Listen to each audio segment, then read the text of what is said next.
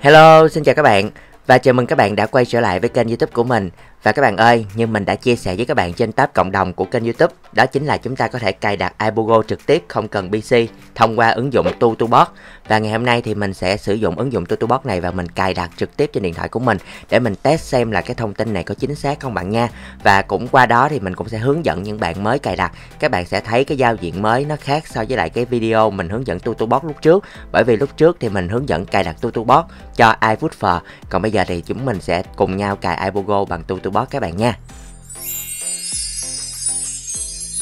Ok và như các bạn đã xem ở trên video thì các bạn đã thấy là mình có sẵn cái ứng dụng iBogo ở trên điện thoại của mình rồi đúng không nào? Và ứng dụng iBogo này mình cài bằng PC các bạn nha. Và nếu như các bạn đang sử dụng PC hoặc là các bạn không có PC thì các bạn có thể ra tìm net các bạn nha. Để chúng ta có thể cài iBogo bằng PC thì nó sẽ ổn định hơn. Còn nếu như các bạn sử dụng các ứng dụng như là TutuBot nè, TutuApp hay là những cái ứng dụng cài đặt khác á, thì chúng ta chỉ sử dụng được 7 ngày. Sau đó chúng ta sẽ đa số là chúng ta không cài đặt được bằng các ứng dụng đó nữa. Và với kinh nghiệm sử dụng các ứng dụng này của mình á, thì cứ lâu lâu khoảng một tháng 2 tháng á, thì các ứng dụng này nó sẽ renew và nó cho chúng ta cài đặt lại một lần. Và ví dụ như trường hợp này đây các bạn ơi lúc trước là cách đây vài tháng á, thì mình có hướng dẫn các bạn cài đặt bằng TutuBot đúng không nào? Và sau đó nguyên một khoảng thời gian dài luôn chúng ta không cài đặt được. Và bây giờ thì chúng ta lại tiếp tục cài đặt được theo một số thông tin mà các bạn đã cung cấp cho mình. Và bây giờ thì chúng ta sẽ cùng nhau test để xem là TutuBot có thực sự cài đặt được cho điện thoại trực tiếp hay không các bạn nha và thông qua video này mình cũng sẽ giải thích cho các bạn luôn lý do vì sao một số bạn có thể cài đặt được hai ứng dụng iBogo ở trên cùng một điện thoại. Đó là do các bạn ký được bằng hai tên của nhà phát triển khác nhau. Ví dụ như trên điện thoại của mình là mình đang sử dụng cái ứng dụng iBogo của FreeUtool. Các bạn thấy đây là iBogo của FreeUtool nha. Và bây giờ mình sẽ tải iBogo bằng TutuBot. Như vậy là hai nhà phát triển khác nhau thì chúng ta có thể cài được hai app iBogo khác nhau trên cùng một điện thoại. Đầu tiên thì các bạn hãy nhập ở trên Google cái từ TutuBot các bạn nha. Và nó sẽ hiện ra cái mục tìm kiếm như trên video và chúng ta chỉ việc bấm vào đây. Các bạn hãy chờ nó load lên các bạn nha. Và khi nó hiện ra cái bảng này thì các bạn click vào cái dòng màu đỏ này thôi. Các bạn click vào cái vòng màu đỏ các bạn nha. Và các bạn cứ trở lại nè các bạn ơi. Các bạn click vào nó không có hiện lên thì các bạn cứ trở lại thôi. Xong sau đó các bạn click vào install now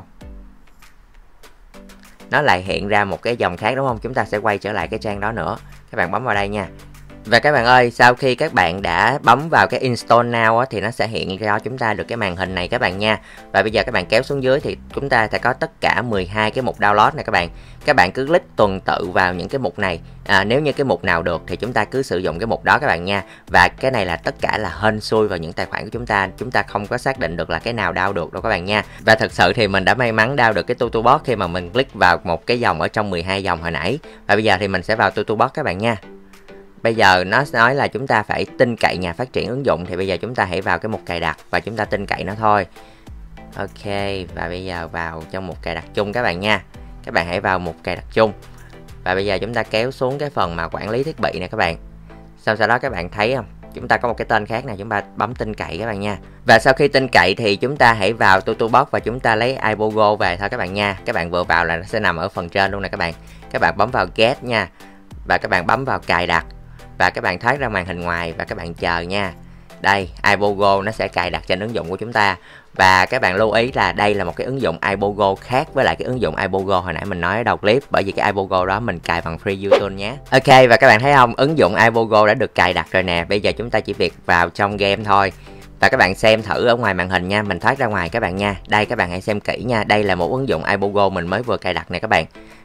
Và ở bên đây nó chính là iBogo mà mình cài bằng free YouTube nè nghĩa là chúng ta sẽ cài được hai ứng dụng iBogo ở trên điện thoại của chúng ta luôn và bây giờ thì chúng ta sẽ đăng nhập vào game các bạn nha Và các bạn ơi mình lưu ý với các bạn rằng là ở bước lựa chọn năm sinh thì các bạn nên chọn năm sinh trên 18 tuổi để các bạn có thể đăng nhập bằng những cái tài khoản khác nhau các bạn nha Và nếu như các bạn chọn năm sinh dưới 18 tuổi thì các bạn sẽ không thể đăng nhập được bằng Facebook và Gmail các bạn nha Các bạn hãy thật lưu ý điều này Và các bạn ơi các bạn hãy lưu ý thời gian cooldown khi mà chúng ta di chuyển GPS trên iOS các bạn nha Và cả trên Android nữa Bởi vì khi mà chúng ta bị dính cooldown á, thì chúng ta sẽ không thể bắt được Pokemon nè Chúng ta quay Pokestop nó sẽ không ra vật phẩm nè Và khi các bạn đánh ra các bạn sẽ bị văng ra ngoài luôn. Bởi vì à, thời gian cooldown nó bắt buộc chúng ta là phải tối thiểu 2 tiếng nha.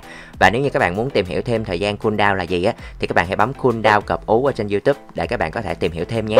Và mình cũng đã hướng dẫn rất nhiều video về những cái công cụ của iBogo này. Các bạn có thể tìm từ khóa iBogo cọp ú ở trên youtube để các bạn có thể tìm hiểu thêm về những công cụ vip nè, cũng như những công cụ miễn phí của iBogo rất tuyệt vời luôn các bạn nha. Ok và các bạn ơi, ngày hôm nay chúng ta cũng đã cùng nhau thử nghiệm tải hai ứng dụng ibogo trên cùng một điện thoại rồi đúng không nào? Và chúng ta đã thành công rồi. Thì bây giờ trong thời gian tranh thủ mà TutuBot còn có thể tải được ibogo thì chúng ta hãy tranh thủ tải các bạn nha. Còn bây giờ thì mình xin kết thúc video clip ngày hôm nay tại đây và mình hy vọng là những video của mình sẽ mang đến cho các bạn những trải nghiệm thật là vui nhé. Xin chào và hẹn gặp lại các bạn trong những video clip lần sau. Tạm biệt.